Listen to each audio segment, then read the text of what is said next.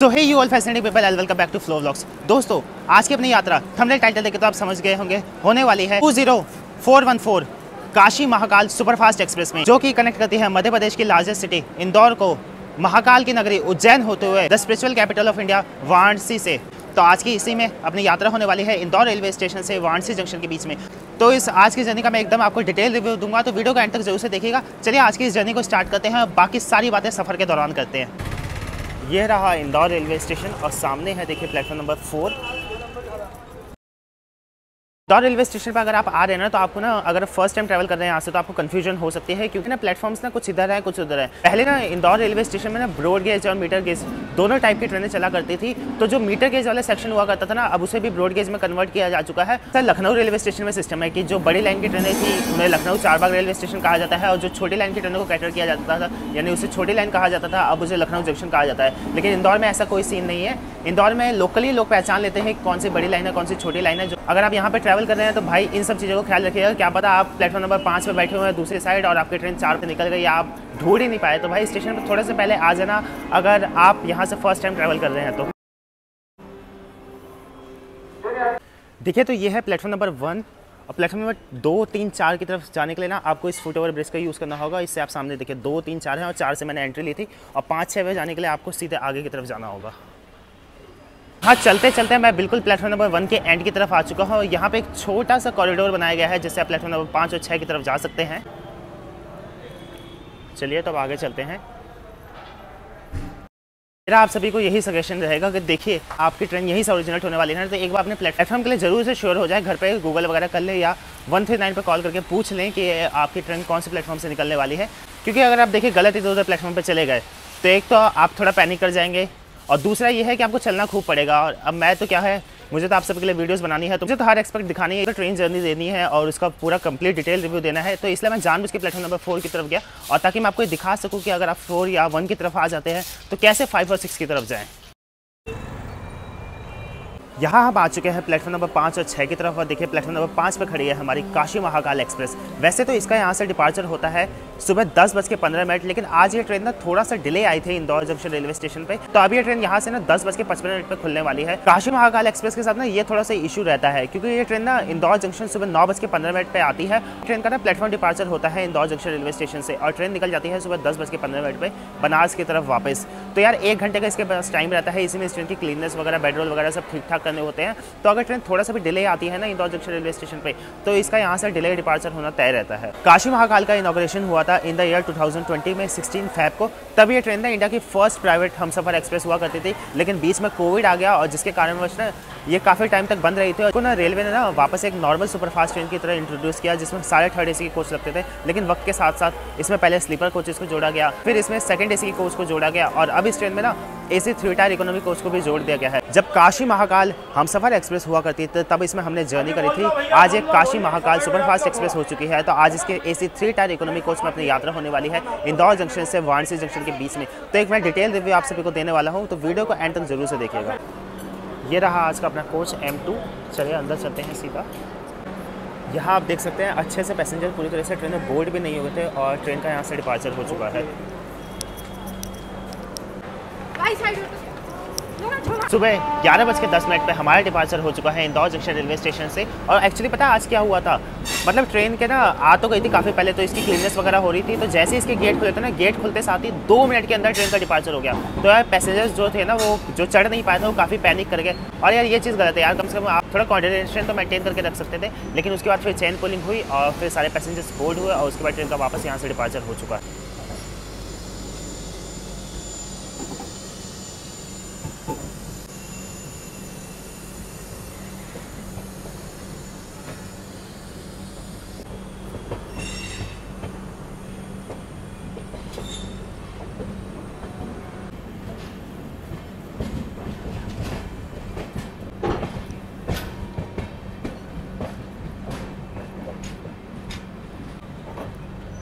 चलते हैं सीधा अपने कोच के अंदर। और सबसे पहले देखिए, आपको यहाँ पे स्लाइडिंग डोर्स मिल जाएँगे।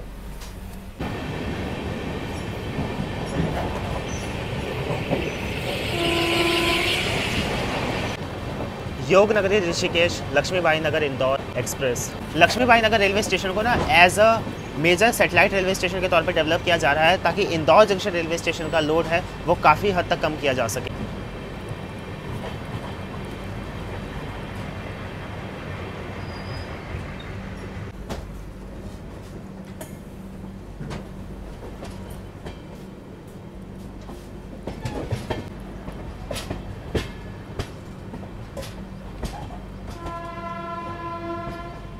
Fatehabad Chandrawatiganj junction railway station को स्किप कर रहे हैं, जो कि एक जंक्शन रेलवे स्टेशन है और यहाँ से एक लाइन चल जाती है आगे रतलाम की तरफ़, एक लाइन यहाँ से चल जाती है आगे उज्जैन की तरफ़ और एक लाइन जिससे ऊपर हमारे यानी आती है इंदौर की तरफ़ से। उज्जैन से इंदौर के बीच में जाने के लिए ना दो रूट्स हैं, एक जाता है वाया देवास होते हुए और दूसरा रूट जाता है वाया फतेहाबाद होते हुए।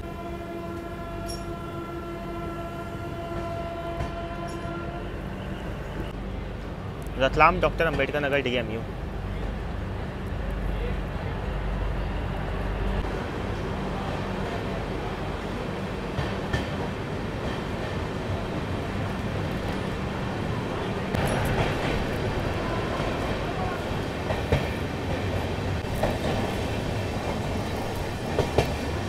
सामने वो लाइन चली गई है, रतलाम की तरफ़ और इधर हम निकल चुके हैं, उज्जैन की तरफ़।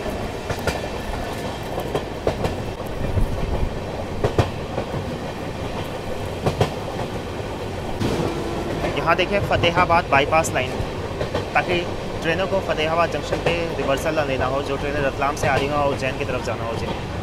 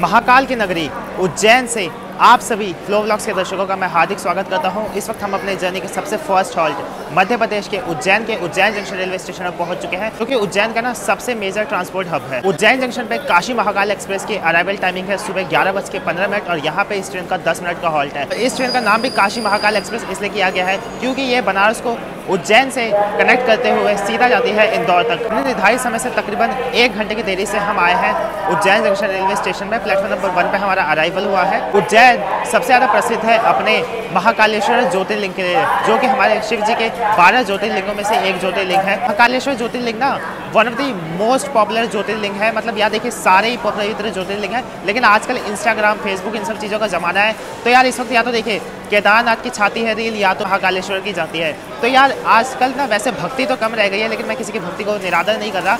लेकिन आजकल वही है ना इंस्टाग्राम ट्रेंडिंग इन सब चीज़ों का ज़माना है। तो भाई जैन जंक्शन का स्टेशन कोड है यू जे एन यहाँ पर तकरीबन 148 के करीब ट्रेनें हॉल्ट लेती है और यहाँ से ओरिजिनेट होती है। एकमात्र लॉन्ग डिस्टेंस ट्रेन उसका नाम है उज्जैनी एक्सप्रेस, जो कि उज्जैन जंक्शन रेलवे स्टेशन से ओरिजिनेट होती है। बाकी सारी ट्रेनें यहाँ से नहीं तो इंदौर वगैरह से ओरिजिनेट होती है, क्योंकि यहाँ से इंदौर की दूरी मात्र साठ सत्तर किलोमीटर की है। अगर आप देवास के रास्ते जाएँगे तो एटी किलोमीटर का डिस्टेंस पड़ता है। अब क्योंकि यहाँ देखिए, उज्जैन के पास इंदौर है ना तो इसी कारणवश काशी महाकाल एक्सप्रेस भी ना इंदौर तक जाती है। वरना अगर इंदौर मेरे ख्याल से अगर सौ डेढ़ किलोमीटर दूर रहता ना तो शायद ये ट्रेन उज्जैन से ओरिजिनेट होती है ताकि अपने नाम को ट्रूली जस्टिफाई कर पाती। उज्जैन जंक्शन रेलवे स्टेशन से ना, महाकालेश्वर ज्योतिर्लिंग का डिस्टेंस तकरीबन मात्र एक किलोमीटर का है। तो अगर आप यहाँ पे उतर रहे हैं तो आप बाय रिक्शा जा सकते हैं, दस या बीस रुपये दे के और यहाँ से जस्ट बाहर निकलते साथ ही आपको बस स्टैंड मिल जाएगा, जिससे आप मध्य प्रदेश के हर कोने की तरफ़ जा सकते हैं। जैन जंक्शन से ना आपको मतलब ऑल ओवर इंडिया के लिए ट्रेनें मिल जाएगी। मतलब यहाँ से कनेक्टिविटी काफ़ी अच्छी है और क्योंकि यार इतना इंपॉर्टेंट और इतने पवित्र शहर है। उज्जैन शहर शिप्रा नदी के किनारे स्थित है और यहाँ पे ना हर कुछ सालों में कुंभ मेला का भी आयोजन होता है। क्योंकि हमारी ट्रेन लेट थी ना तो मात्र बस पाँच मिनट का हॉल्ट लेने के बाद हमारे यहाँ से प्रस्थान हो चुका है। स्टेशन पे आपको ना हर तरह की फैसिलिटीज़ मिल जाएगी। यहाँ पे वेटिंग रूम है रिटायरिंग रूम है डोर मैटरी है।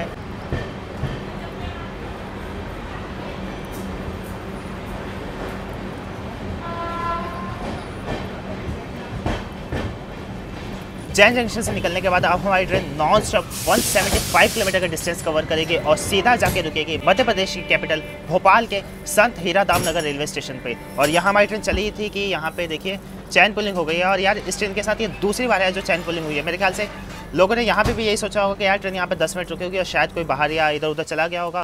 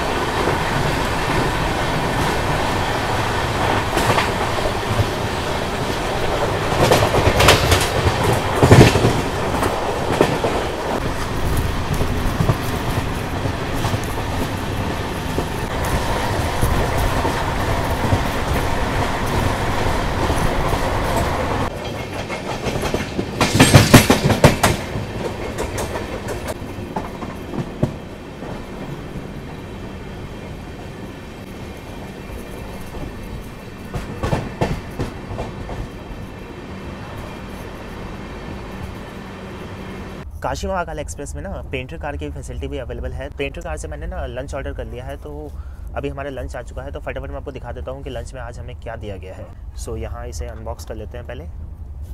और इधर देखिए राइस दी गई है मैंगो पिकल है इधर पनीर की सब्ज़ी है साथ में सैलड है एक दो। ये दाल है इधर आलू की सब्ज़ी है दो या तीन पराठे हैं इसके अंदर।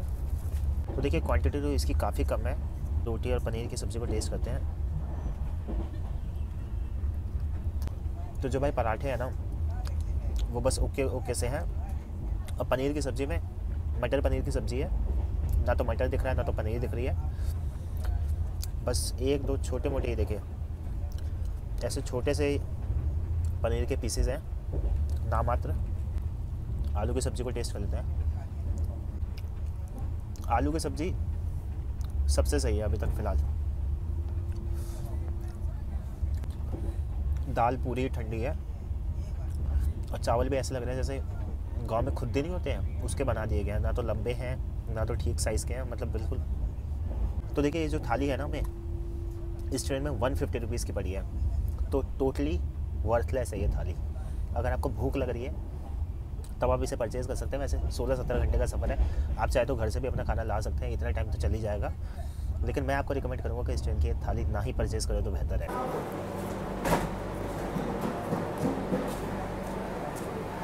और तो मैं अपना लंच ही फिनिश कर रहा था। तब तक ना हम ना भोपाल संत हिरदाराम रेलवे स्टेशन पहुँच चुके हैं, जो कि ना भोपाल सिटी को सर्व करता है। और इसे पता है, इसलिए डेवलप किया जा रहा है ना, ताकि ट्रेनों को ना भोपाल जंक्शन पे ना ना जाना पड़े। क्योंकि पहले जिन ट्रेनों को उज्जैन की तरफ़ जाना होता था ना, और जो आती थी आगे विदिशा बिना की तरफ़ से तो उन्हें भोपाल जंक्शन जाना होता था, फिर वहाँ से रिवर्सल लेके इस रूट पर आना हुआ करता था। तो लेकिन अब पिछले कुछ सालों से ना, सारी ट्रेनें आती हैं, और भोपाल से पहले बाईपास लाइन लेकर सीधा आ जाती है संत हृदाराम रेलवे स्टेशन पे। लोकली इस रेलवे स्टेशन को ना, बैरागढ़ रेलवे स्टेशन के नाम से जाना जाता है। स्टेशन कोड है एस एच आर एन क्योंकि स्टेशन पे आप काफ़ी लोड बढ़ रहा है, पैसेंजर यहाँ से उतरते, चढ़ते काफ़ी ज़्यादा है तो आप देख सकते हैं। स्टेशन में काफ़ी डेवलपमेंट वगैरह हो रही है नए नए यहाँ पे एमिनिटीज़ वगैरह बनाए जा रहे हैं ताकि आगे चल के पैसेंजर्स को और सहूलियत मिल सके। काशी महाकाल एक्सप्रेस की यहाँ पे अराइवल टाइमिंग है, दोपहर में दो बज के दस मिनट, पाँच मिनट का यहाँ पे हॉल्ट है। अपने निर्धारित समय से पैंतीस मिनट की देरी पे हम यहाँ पे आए हैं। बस पाँच मिनट हमारी ट्रेन यहाँ पे रुकी और यहाँ से हमारा प्रस्थान हो चुका है।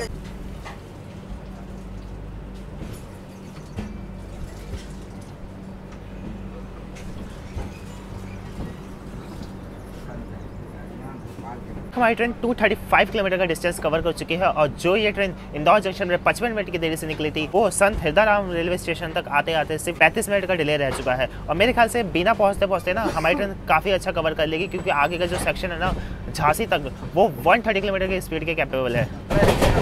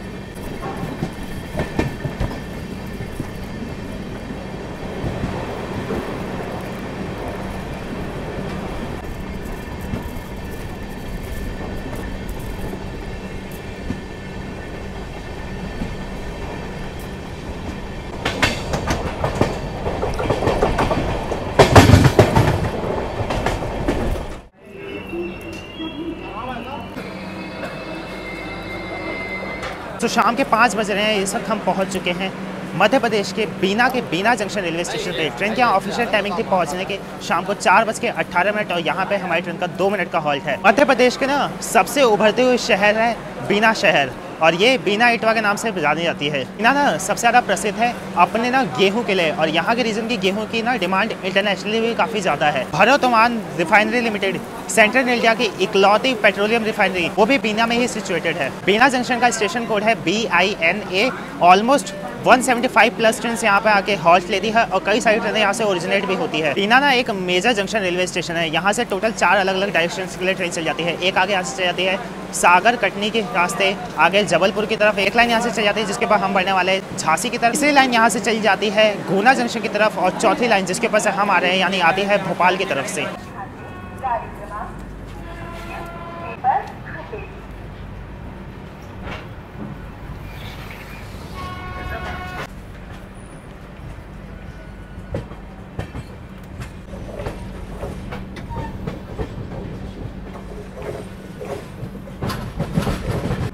यहाँ कटने वाली लाइन हमसे अलग हो चुकी है और हम बढ़ चुके हैं झांसी वाली लाइन की तरफ़।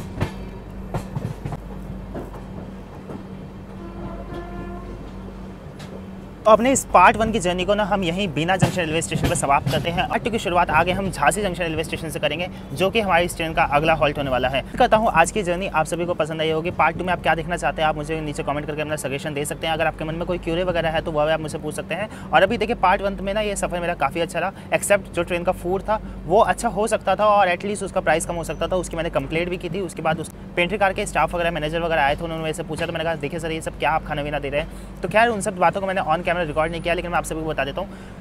इंडियन रेलवे में अगर आप वेज स्टैंडर्ड थाली ऑर्डर करते हैं तो आपको इसका कॉस्ट एटी रुपीज़ पड़ेगा। इससे ज़्यादा अगर आपको कोई लेता है तो आप उसकी डायरेक्ट कंप्लेंट कर सकते हैं। आपको लड़ाई झगड़ा नहीं करना है, बस डायरेक्ट जाइए ऑनलाइन या ट्विटर किसी पे भी आप जाइए और सीधा जाके उनकी कंप्लेंट कर दीजिए। वो खुद आपसे आएँगे हाथ पर जोड़ते हुए। चलिए तो मिलते हैं जल्दी इसी के पार्ट टू के साथ। तब तक आप सभी लोग ख्याल रखिए। जय हिंद आप सभी को।